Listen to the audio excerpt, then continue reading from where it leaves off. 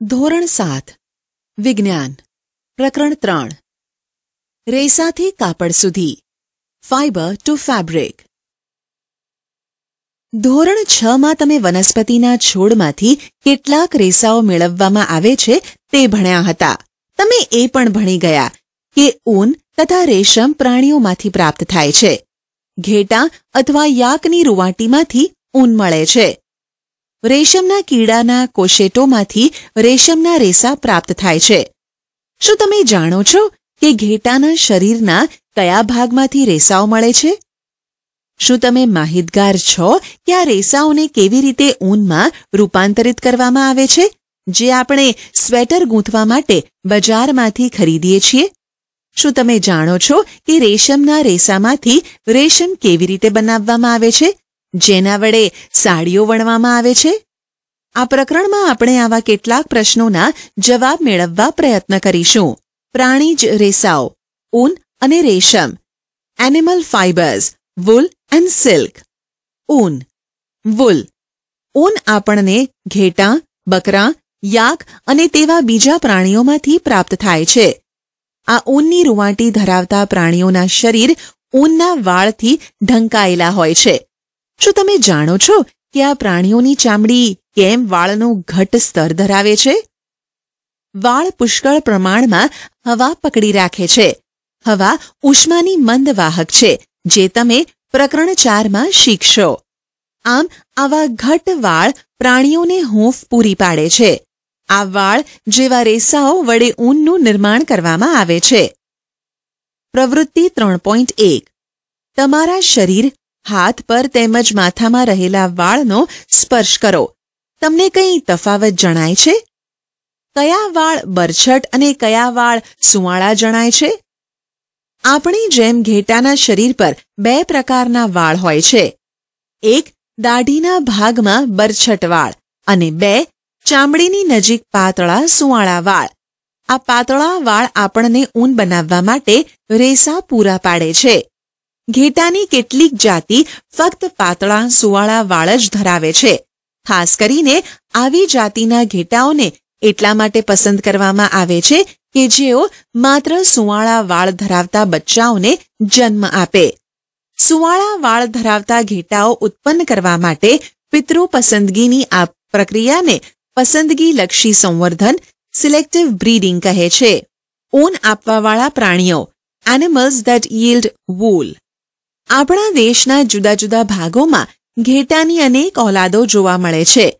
જો કે ઘેટાઓની રૂવાટી એ ઊનનો એકમાત્ર સ્ત્રોત નથી. છતાં, બજારમાં મોટાભાગે પ્રાપ્ત થતું ઊન ઘેટાઓનું જ હોય છે. તિબેત તથા લદાખ જેવા પ્રદેશોમાં યાક નામના પ્રાણીનું ઊન પ્રચલિત છે. અંગોરા ઊન એ અંગોરા બકરીમાંથી મેળવવામાં આવે છે, જે પહાડી પ્રદેશમાં જોવા મળે છે. જેવા કે જમ્મુ અને કાશ્મીર. બકરીના વાળમાંથી પણ ઊન પ્રાપ્ત થાય છે. કાશ્મીરી બકરીઓ વડે મળતું ઊન સુવાળું હોય છે, જેનો પેશ્મીના શાલ પ્રકારની સુવાળી પાતળી શાલ વણવામાં ઉપયોગ થાય છે. ઊંટના શરીરના વાળનો પણ ઊન તરીકે ઉપયોગ કરવામાં આવે છે. દક્ષિણ અમેરિકામાં જોવા મળતા લામા અને અલ્પાકા પ્રાણીઓ પણ ઊન આપે છે. પ્રવૃત્તિ ત્રણ પોઈન્ટ બે. એવા પ્રાણીઓના ચિત્રોને ભેગા કરો કે જેમના શરીરના વાળ એટલે રૂવાટી ઊન તરીકે વપરાય છે. તેને તમારી સ્ક્રેપ બુકમાં ચોંટાડો. જો તમને તેના ચિત્રો ન મળે, તો આ પુસ્તકમાં આપેલા ચિત્રો પરથી તેને દોરવાનો પ્રયત્ન કરો. આપણા દેશની સ્થાનિક તથા જુદી જુદી ભાષામાં ઘેટું, બકરી, ઊંટ તથા યાક માટે વપરાતા નામો જાણવાનો કે શોધવાનો પ્રયત્ન કરો. પ્રવૃત્તિ ત્રણ પોઈન્ટ ત્રણ. ભારત તથા વિશ્વનો રેખાંકિત નકશો મેળવો. હવે જે જે સ્થળોએ ઊન આપતા પ્રાણીઓ જોવા મળતા હોય તે સ્થાનોની નોંધ તેમાં કરો. જુદા પ્રકારના ઊન આપતા પ્રાણીઓના સ્થળને દર્શાવવા માટે જુદા જુદા રંગોનો ઉપયોગ કરો. રેસાઓ. રૂવાટીમાંથી ઊન. From fibres to wool. ઊન મેળવવા માટે ઘેટાનો ઉછેર કરવામાં આવે છે. તેના વાળ કાપી અને પ્રક્રિયા કરીને ઊન બનાવવામાં આવે છે. ચાલો, આપણે આ પ્રક્રિયા વિશે શીખીએ. ઘેટાનું પાલન અને સંવર્ધન. જો તમે જમ્મુ અને કાશ્મીર, હિમાચલ પ્રદેશ, ઉત્તરાખંડ, અરુણાચલ પ્રદેશ અને સિક્કિમ જેવા પહાડી વિસ્તારો અથવા હરિયાણા, પંજાબ રાજસ્થાન અને ગુજરાતના મેદાનના વિસ્તારોની મુસાફરી કરો, તો તમને ભરવાડો ઘેટાના ઝુંડ ચરાવતા નજરે પડશે. ઘેટું શાકાહારી પ્રાણી છે. તે ઘાસ અને વનસ્પતિના પાંદડા ખાય છે. ઘેટાને પાળનારા તેમને લીલો ચારો ઉપરાંત દાળનું મિશ્રણ, મકાઈ, જુવાર, ખોળ, બીજમાંથી તેલ કાઢી લીધા બાદ વધેલો પદાર્થ તથા ખનીજ દ્રવ્ય પણ ખવડાવતા હોય છે. શિયાળામાં ઘેટાઓને ઘરની અંદર રાખવામાં આવે છે અને તેમને પાંદડા, અનાજ અને સૂકો ચારો ખવડાવવામાં આવે છે. આપણા દેશના અનેક ભાગોમાં ઘેટાઓને તેમના ઊન માટે પાળવામાં આવે છે. કોષ્ટક ત્રણ પોઈન્ટ એકમાં ઘેટાઓની કેટલીક જાતિઓના નામ આપેલા છે, જેમને આપણા દેશમાં ઊનના ઉત્પાદન માટે પાળવામાં આવે છે. કોષ્ટકમાં તેમના વડે મળતી ઊનની ગુણવત્તા અને પોત, ટેક્સચર, વણાટનું ઘટપણું પણ દર્શાવેલા છે. ઘેટાની કેટલીક પ્રજાતિના શરીર પર ઘાટી રૂવાટી હોય છે. જેમાંથી મોટા પ્રમાણમાં સારી ગુણવત્તાનું ઊન પ્રાપ્ત થાય છે. જેમ કે, પહેલા આપણે જોઈ ગયા કે ઘેટાઓને પસંદગીલક્ષી સંવર્ધન વડે પેદા કરવામાં આવે છે. આ પ્રક્રિયામાં કોઈ એક સારી જાતિના નર કે માદા પસંદ કરવામાં આવે છે. જ્યારે પાળેલા ઘેટાના શરીર પરના વાળનો જથ્થો વધી જાય, ત્યારે ઊન મેળવવા માટે તેને કાપવામાં આવે છે. રેસાઓમાંથી ઊનમાં રૂપાંતરની પ્રક્રિયા. Processing fibres into wool sweater ગૂંથવા માટે વપરાતું ઊન કે શાલ વણવા માટે વપરાતું ઊન એક લાંબી પ્રક્રિયા દ્વારા પ્રાપ્ત થાય છે. જે નીચે મુજબના સોપાનો ધરાવે છે. સોપાન એક. ઘેટાઓના શરીર પરથી તેની પાતળી ચામડી સહિત રૂવાટીને ઉતારી લેવામાં આવે છે. આ પ્રક્રિયાને કાતરણી શિયરિંગ કહે છે. હજામ આપણા વાળ કાપવા માટે જે મશીનનો ઉપયોગ કરે છે, તેવા પ્રકારના મશીનનો ઉપયોગ કરવામાં આવે છે.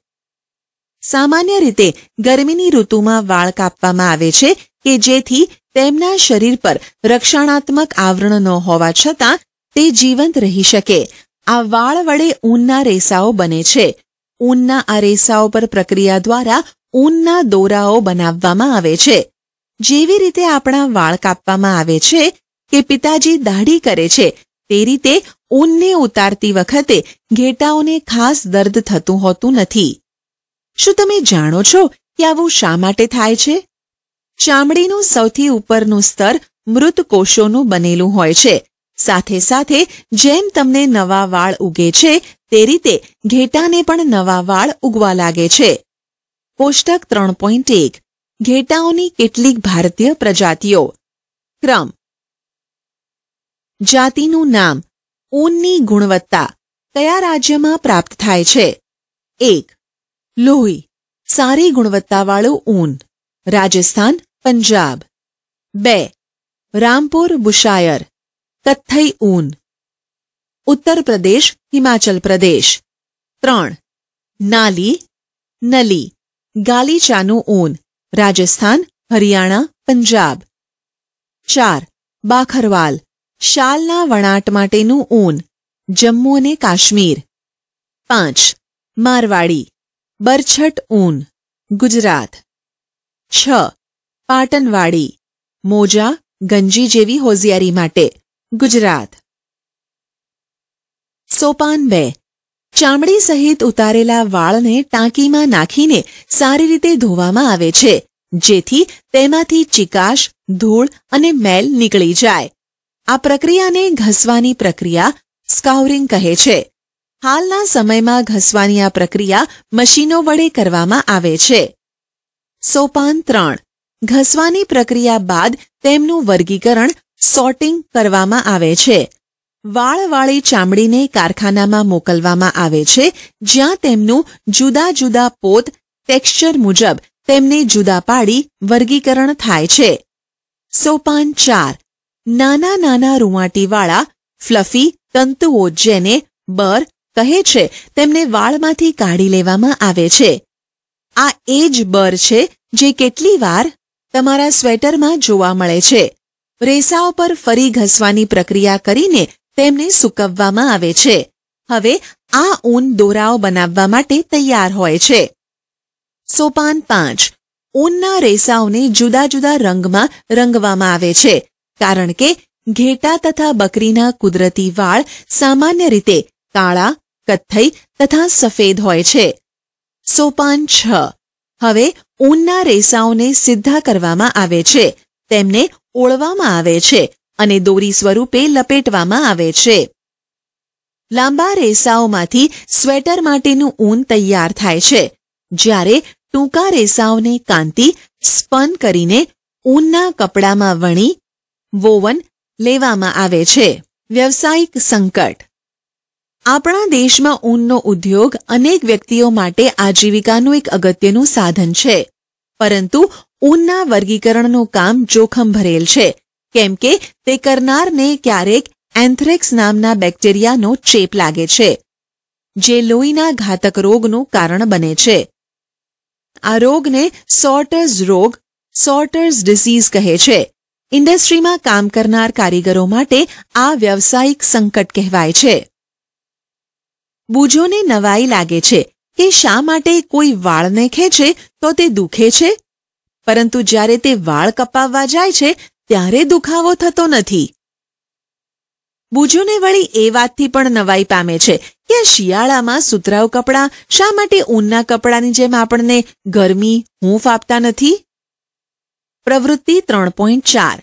તમારા વર્ગના મિત્રો સાથે ચર્ચા કરો કે શું મનુષ્ય માટે ઘેટાઓને પાળવા અને પછી ઊન પ્રાપ્ત કરવા માટે તેના વાળને કાપીને ઉતારી લેવા યોગ્ય છે? રેશમ, સિલ્ક. સિલ્કના રેસા પણ પ્રાણી જ રેસા છે. રેશમના કીડાઓ રેશમના રેસાઓનું નિર્માણ કરે છે. રેશમ પ્રાપ્ત કરવા માટે રેશમના કીડાઓનો ઉછેર કરવો તેને સેરીકલ્ચર કહે છે. તમારા માતૃશ્રી કે કાકીશ્રી કે દાદીમાને પૂછીને જુદા જુદા પ્રકારના રેશમ અને રેશમી સાડીઓ વિશે જાણકારી મેળવો. જુદા જુદા પ્રકારના રેશમની યાદી બનાવો. રેશમ મેળવવાની પદ્ધતિની ચર્ચા કરીએ તે અગાઉ રેશમની કીડા, સિલ્ક મોથના જીવનચક્ર વિશે જાણવું રસપ્રદ બનશે. રેશમના કીડાની જીવનગાથા, life history of silk moth. માદા રેશમનો કીડો ઈંડા આપે છે. ડિંભ નીકળે છે, જેને કેટરપિલર અથવા રેશમનો કીડો કહે છે. કેટરપિલર વૃદ્ધિ પામીને તેના જીવનચક્રની ત્યાર પછીની અવસ્થામાં આવે છે. તેને પોષિત અવસ્થા, પ્યુપા કહે છે. તે પોતાની આસપાસ જાળું રચે છે, જે તેને પકડી રાખવામાં મદદરૂપ થાય છે. ત્યારબાદ ત્યારબાદ તે પોતાના માથાને અંગ્રેજી આઠ આકારમાં એક છેડાથી બીજા છેડા સુધી લઈ જાય છે. તે દરમિયાન કેટરપિલર પ્રોટીનના બનેલા તાંતણાઓનો સ્ત્રાવ કરતો જાય છે, જે હવાના સંપર્કમાં આવતા રેશમનો તાર બને છે. ઝડપથી કેટરપિલર આ રેશમના તાર વડે પોતાની જાતને ઢાંકી દે છે અને તે પ્યુપામાં રૂપાંતરિત પામે છે. આ ઢાંકવા માટેના આવરણને કોશેટો કોકુન કહે છે. પ્યુપાનો હવે પછીનો વિકાસ આ કોશેટોમાં જ થાય છે અને તે પતંગિયામાં રૂપાંતર પામે છે. રેશમના તારનો ઉપયોગ રેશમના વસ્ત્રો બનાવવા માટે થાય છે. તમે કલ્પના કરી શકો છો કે રેશમનો નરમ તાંતણો સ્ટીલના તાર જેટલો મજબૂત હોય છે. રેશમના કીડાના કોશેટોમાંથી રેશમના દોરા મેળવવામાં આવે છે. રેશમના કીડાઓના ઘણા પ્રકારો છે, જેઓ એકબીજા કરતા જુદા તરી આવે છે અને તેમના વડે મળતા રેશમના તાર, પોત ટેક્સચર બરછટપણા, લીસાપણા તેમજ ચમક વગેરેમાં જુદા જુદા હોય છે. આમ tussar silk, muga silk, kosa silk વગેરે જુદા જુદા પ્રકારના રેશમના કીડાઓમાંથી રેશમના તાર વડે મેળવાય છે. સૌથી સામાન્ય રેશમનો કીડો એ મલબેરી રેશમનો કીડો છે.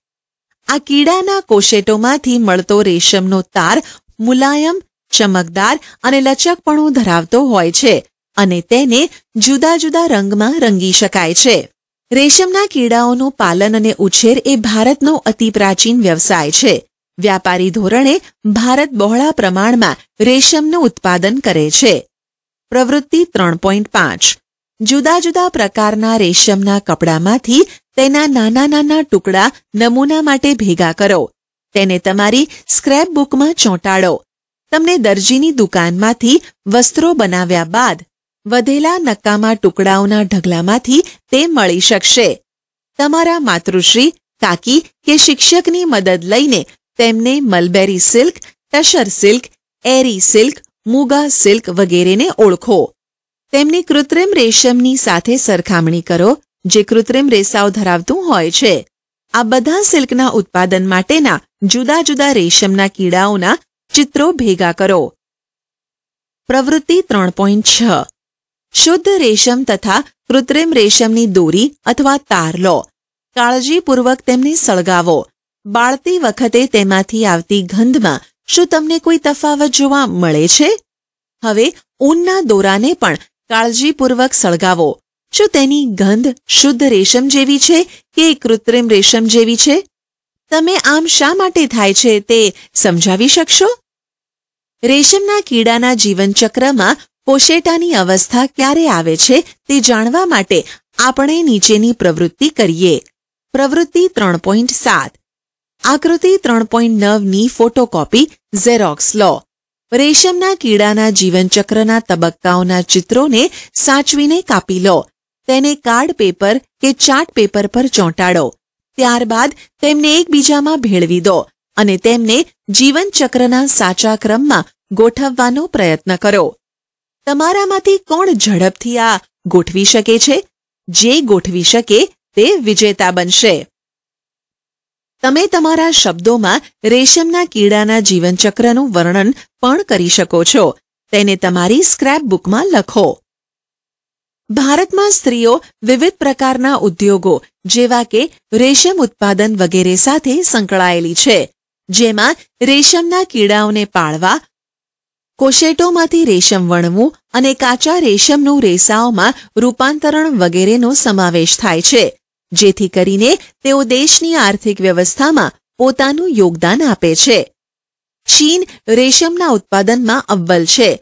ભારત પણ રેશમ ઉત્પાદન કરતા દેશોમાં ટોચનું સ્થાન પામેલ છે. કોશેટોમાંથી રેશમ સુધી, ફ્રોમ કોકૂન ટુ સિલ્ક. રેશમ મેળવવા માટે રેશમના કીડાનો ઉછેર કરવામાં આવે છે. તેમના કોશેટોને ભેગા કરીને રેશમના તાર મેળવવામાં આવે છે. રેશમના કીડાનું પાલન રેરિંગ સિલ્કવર્મ્સ કોઈ પણ માદા રેશમનો કીડો એક જ વારમાં અનેક ઈંડા આપે છે.